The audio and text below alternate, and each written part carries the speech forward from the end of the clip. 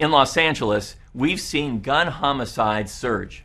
The South LA community has seen 59 shooting victims in the first two weeks of 2021 alone. That's compared to just seven at this time last year. In 2020, the total number of homicides in our city were up 36%. Gang related homicides, in particular, were up 41%. We need to confront this escalating gun violence emergency head on. And we have to use a range of strategies to address it. Uh, this week, I announced our latest lawsuit against the owners of a property plagued by gun and gang violence. This is part of my office's strategy to do something about this dangerous trend.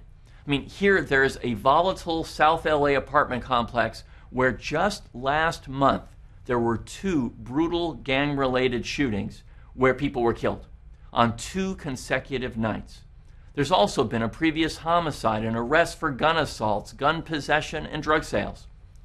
Our lawsuit has been filed against two individuals, Winston Yaw and Vanek Chim, the owners of the six apartment complex located at 921 East 91st Street in South Los Angeles.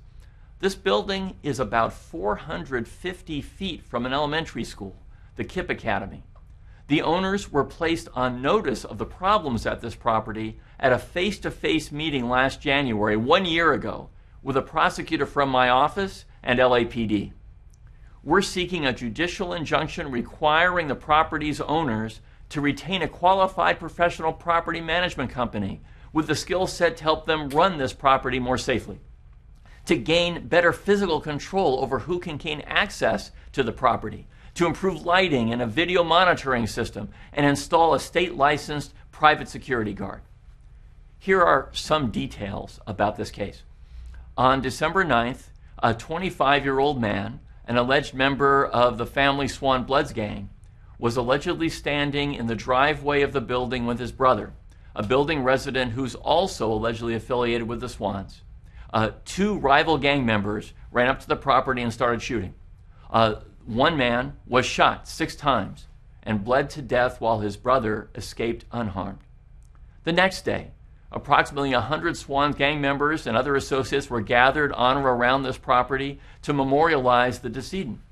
Several cars driven by a rival gang drove up and unleashed a volley of gunfire. They killed a 28 year old woman, also an alleged Swans gang member, and wounded another. Over the two nights of murder and mayhem, approximately 80 rounds of ammunition were fired back and forth and around the property. These facts give you a sense as to why we feel this lawsuit is so important. The residents of this neighborhood deserve better than to live with this violence.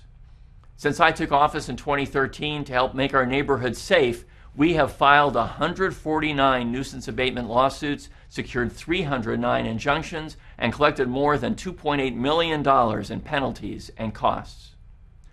Problem properties like these can be reported anonymously to us, and I urge you to do so online at lacityattorney.org or by calling 213 978 8340.